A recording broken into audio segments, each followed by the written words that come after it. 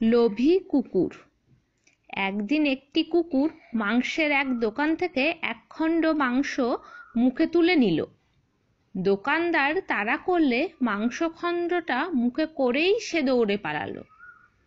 দৌড়াতে দৌড়াতে সে অনেকটা পথ চলে এলো। পথে পড়ল একটা নদী। সেই নদীর ওপরে ছিল একটা সাঁকো। ওই সাঁকোর ওপর দিয়ে যাবার সময় নদীর জলে নিজের ছবি দেখে সে ভাবল, নদীর মধ্যে দিয়ে তারই মতো আরেকটা কুকুর মাংসখণ্ড মুখে করে পালাচ্ছে। এই দৃশ্য দেখে লোভী কুকুরটি আর স্থির থাকতে পারল না। ওই কুকুরটার মুখের থেকে মাংসখণ্ডটা কেড়ে নেওয়া চাই। লোভী কুকুরটা আর এক মুহূর্ত দেরি না করে ওই মাংসখণ্ডটা নেবার জন্য ঘেউ ঘেউ করে জলের মধ্যে ঝাঁপিয়ে পড়ল।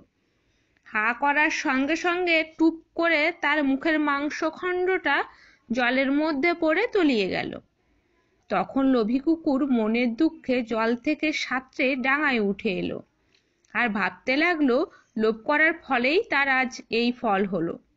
কাজেই এবার থেকে সে আর কোনোদিন লোভের বশবর্তী হয়ে কিছু করতে যাবে না।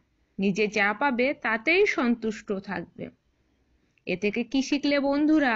বেশি লোভ করলে পরে পস্তাতে হয়।